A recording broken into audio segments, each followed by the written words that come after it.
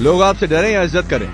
क्या बेहतर है? और मैं कहूँगा क्या दोनों की उम्मीद करना गलत है? तुम्हारी उम्र भर की मेहनत आज इन दरिंदों के हाथों में है। क्या तुम ऐसी मौत मरना चाहते हो? क्या ये आखिरी फैसला है? महान टोनी स्टाक की बगावत का?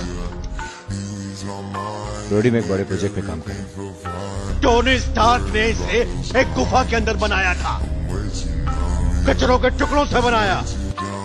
सच्चाई है I get those goosebumps every time.